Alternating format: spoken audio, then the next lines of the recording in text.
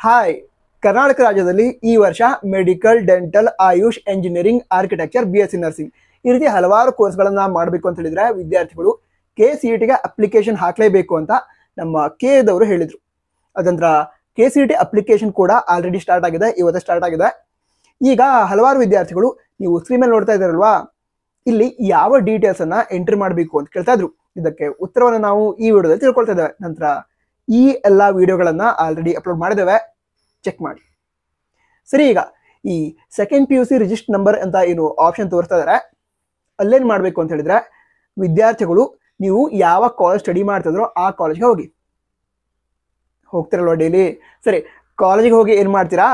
Register number ಬೇಕು ಅಂತ ಕೇಳಿ. ಆ್ಯಕ್ಚುಲಿ ರಿಜಿಸ್ಟರ್ ನಂಬರ್ ಕೊಡಲ್ಲ ಈಗ ಸ್ಟೂಡೆಂಟ್ ನಂಬರ್ ಅಂತ ಇರತ್ತೆ. ನೀವೀಗ second P U C practical exam ಬರೀತೀರಾ? ಫೆಬ್ರವರಿಯಲ್ಲಿ ಏನು ಪ್ರಾಕ್ಟಿಕಲ್ ಎಕ್ಸಾಮ್ ನಡೆಯುತ್ತೆ.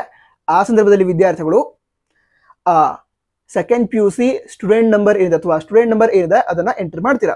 ಅದೇ ಸ್ಟೂಡೆಂಟ್ ನಂಬರನ್ನು ನೀವು ಈ ಕಾಲಮ್ ಏನಿದೆ ರಿಜಿಸ್ಟರ್ ನಂಬರ್ ಅಂತ ಅಲ್ಲಿ ಎಂಟರ್ ಮಾಡಬಹುದು.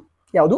ಸ್ಟೂಡೆಂಟ್ ನಂಬರ್ ಅದಕ್ಕೋಸ್ಕರ ಕಾಲೇಜ್ಗೆ ಹೋಗಿ ಕೆ ಸಿ ಇ ಟಿ ಎಕ್ಸಾಮ್ಗೆ ಅಪ್ಲಿಕೇಶನ್ ಹಾಕಬೇಕು. ಅದಕ್ಕೋಸ್ಕರ ಸ್ಟೂಡೆಂಟ್ ನಂಬರ್ ಬೇಕಿತ್ತು, ಕೊಡಿ ಅಂತ ಕೇಳಿದ್ರೆ ಅವ್ರು ನಿಮಗೆ ಸ್ಟೂಡೆಂಟ್ ನಂಬರ್ ಕೊಡ್ತಾರೆ. ಅದನ್ನ ಎಂಟ್ರ್ ಮಾಡಿ ಏನು ಮಾಡ್ತೀರಾ? ಅಪ್ಲಿಕೇಶನ್ ಕಂಪ್ಲೀಟ್ ಮಾಡ್ತೀರಾ. ಬೇರೆ ಡೌಟ್ಸ್ ಇದ್ರೆ ಕಮೆಂಟ್ ಬಾಕ್ಸ್ ತಿಳಿಸಿ. ಆಲ್ ದ ಬೆಸ್ಟ್ ಜೈ ಹಿಂದ್ ಒಂದು ಮಾತರಂ